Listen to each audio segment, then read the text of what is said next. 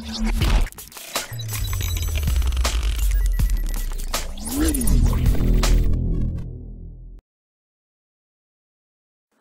Friends sports பற்றின செய்திகளை உடனுக்குடனாக தெரிஞ்சுக்கொள்ள நம்ம தமிழ் கிரிக்கெட் சேனலை சப்ஸ்கிரைப் பண்ணுங்க.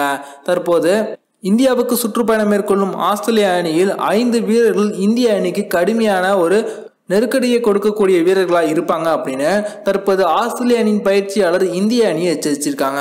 அது பற்றின முழுமையான விவரத்தை பார்ப்போம். தற்போது ஆஸ்திரேலிய அணி இந்தியாவுக்கு சுற்றுப்பயணம் மேற்கொண்டு மூன்று போட்டியில் கொண்ட ஒரு நாள் தொடரில் விளையாட போகிறாங்க நாளை பார்த்தீங்கன்னா முதல் ஒரு நாள் போட்டி துவங்க இருக்கு. இந்த சமயத்தில் இது குறித்து பேட்டியளித்திருக்கும் ஆஸ்திரேலிய அணியின் தலைமை பயிற்சியாளரான ஜஸ்டின் லாங்கர் பார்த்தீங்க என்ன சொல்லியிருக்காங்க அப்படின்னா கடந்த இரண்டாயிரத்தி பத்தொன்பதாம் ஆண்டு ஆஸ்திரேலிய அணி இதே போல இந்தியாவுக்கு சுற்றுப்பயணம் மேற்கொண்டு மூன்று போட்டியில் கொண்ட ஒரு நாள் தொடரில் விளையாடினாங்க. ஆனால் ஆஸ்திரேலிய அணி அந்த சமயத்தில் இப்போது இருக்கக்கூடிய ஆஸ்திரேலிய அணியை போல வலுவான அணியாக கிடையாது.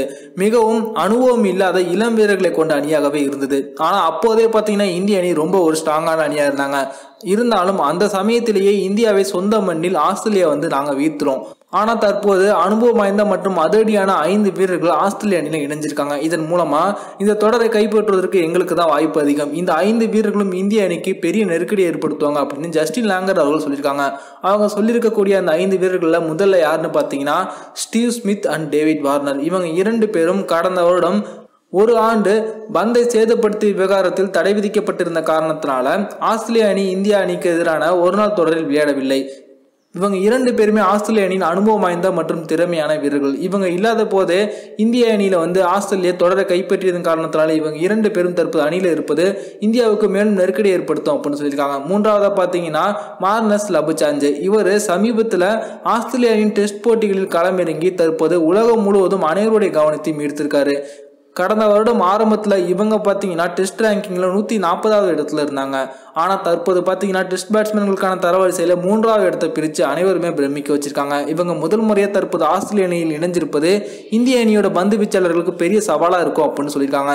மற்றொரு வேகப்பந்து வீச்சாளராக பார்த்தீங்கன்னா மிட்சல் ஸ்டார்க். இவரும் கடந்த வருடம் ஆஸ்திரேலியா இந்தியாவுக்கு சுற்றுப்பயணம் மேற்கொண்ட போது அந்த அணியில் இடம்பெறல. காயம் காரணமாக விலகி இருந்தார். தற்போது அவர் நல்ல ஃபார்ம்லையும் இருக்கார். கண்டிப்பாக இந்திய மண்ணில் மிச்சல் ஸ்டார்க் இந்தியாவுக்கு ஒரு மிகப்பெரிய நெருக்கடி ஏற்படுத்துவாங்க அப்படின்னு சொல்லியிருக்காங்க. அடுத்ததாக பார்த்தீங்கன்னா டி ஆர்சி ஷார்ட் இவர் பார்த்தீங்கன்னா ஆஸ்திரேலியாவில் நடக்கக்கூடிய உள்ளூர் டி டுவெண்ட்டி தொடர்களை அதிரடியாக விளையாடக்கூடிய ஒரு வீரர் இவர் அவசர அவசரமாக தற்போது ஆஸ்திரேலிய அணி ஸ்குவாடில் சேர்க்கப்பட்டிருக்காங்க அப்படின்னே சொல்லலாம். சமீபத்தில் ஆஸ்திரேலிய அணியின் பதினைந்து பேர் கொண்ட வீரர்கள் இந்திய அணி விளையாடும் தொடருக்காக அறிவிக்கப்பட்டாங்க. ஆனால் சில வாரங்களுக்கு முன்பு திடீரென அவங்களுடைய அணியில் மாற்றம் செய்யப்பட்டு வே மற்றொரு வீரர் அணியிலிருந்து நீக்கப்பட்டு இந்த டி ஆர்சி ஷாட் அப்படின்ற வீரர் சேர்க்கப்பட்டிருக்காங்க. இவங்க ரிஸ்ட் ஸ்பின்னர் அதாவது யுவேந்தர் சகால் குல்தீப் யாதவ் போல மணிக்கட்டை பயன்படுத்தி பந்து வீச்சக்கூடிய ஒரு பந்து பந்து வீச்சாளர். அதே போல துவக்க வீரராக இறங்கி அதிரடியை விளையாடக்கூடிய ஒரு ஆல்ரவுண்டரும் கூட. இதனால இந்த ஐந்து வீரர்கள் தற்போது இந்திய அணிக்கு ஒரு பெரிய சவாலாக இருப்பாங்க அப்படின்னு ஆஸ்திரேலிய அணியின் தலைமை பயிற்சியாளரான ஜஸ்டின் லாங்கர் இந்திய அணிக்கு சவால் விடுத்திருக்காங்க. இதையெல்லாம் தாண்டி இந்திய அணி எப்படி விளையாட போறாங்க அப்படிங்கிறத நம்ம பொறுத்திருந்து பார்ப்போம். இந்த வீடியோ உங்களுக்கு பிடிச்சிருந்துச்சுன்னா லைக் பண்ணுங்க ஷேர் பண்ணுங்க. நன்றி.